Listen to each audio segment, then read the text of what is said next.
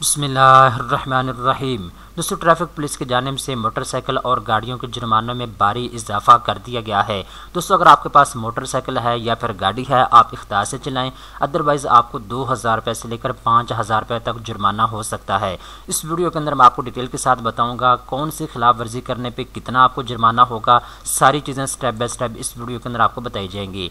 दोस्तों, अभी high court ने हुक्म दिया है पूरे पंजाब के अंदर जो भी दोस्त मोटरसाइकिल रखते हैं, जिनके पास मोटरसाइकिल मौजूद है। अगर आप हेलमेट नहीं पहनेंगे तो आपको 200 की बजाय दो हज़ार रुपये तक जुर्माना अदा करना होगा। पहले जब आप हेलमेट नहीं पहनते थे तो आपको दो सौ रुपये का जुर्माना किया जाता था।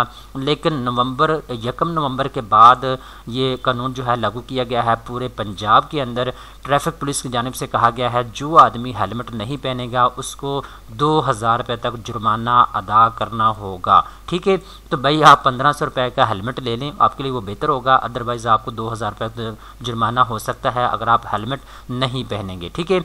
इसके बाद दोस्तों, यहाँ पे मैं आपको मज़ीद तफसीत बता देता हूँ, अगर आप रॉन्ग पार्किंग करेंगे मोटरसाइकिल रॉन्ग पार्किंग में लगाएँगे तो आपको दो हज़ार रुपये तक जुर्माना होगा। अगर आप गाड़ी जो आपके पास है, अगर आप गाड़ी की रॉन्ग पार्किंग करेंगे तो आपको पाँच हज़ार तक जुर्माना हो सकता है। इस तरीके के साथ, अगर आपके पास लाइसेंस नहीं है मोटरसाइकिल का तो आपको दो हज़ार तक जुर्माना हो सकता है। अगर आपके पास गाड़ी का लाइसेंस नहीं है और आप फिर भी गाड़ी चला रहे हैं तो आपको पाँच हज़ार तक जुर्माना हो सकता है। इसके बाद दोस्तों, अगर आप वन वे की खिलाफ वर्जी करते हैं तो मोटरसाइकिल वाले को दो हज़ार तक जुर्माना होगा और गाड़ी वाले को पाँच हज़ार तक जुर्माना हो सकता है। इसके बाद दोस्तों, काले शीशे अगर आपने गाड़ी के लगवाए हुए हैं तो आपको पाँच हज़ार तक जुर्माना हो सकता है।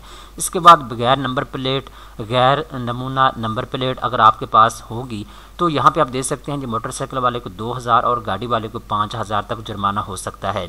इसके अलावा दीगर जो खिलाफ वर्जियाँ हैं, उनके ऊपर भी आप मोटरसाइकिल वाले को 2000 और गाड़ी वाले को 5000 तक जुर्माना हो सकता है। ठीक है तो ये वो सारी तफसीत जो मैंने आपको बता दी हैं।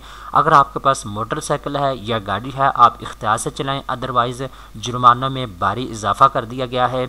जो भी लोग यहाँ पे जैसा मैंने आपको बताया है, खिलाफ वर्जी करेंगे, उनको जो है दो हज़ार रुपये से लेकर पाँच हज़ार रुपये तक जुर्माना किया जाएगा। ट्रैफ़िक पुलिस की जानब से ये लॉ जो है पूरे पंजाब के अंदर लागू कर दिया गया है। तो दोस्तों, उम्मीद करता हूँ ये वीडियो आपको पसंद आई होगी। मज़ीद इस तरह की अच्छी अच्छी मालूमती वीडियोज़ देखने के लिए चैनल को सब्सक्राइब कर लें।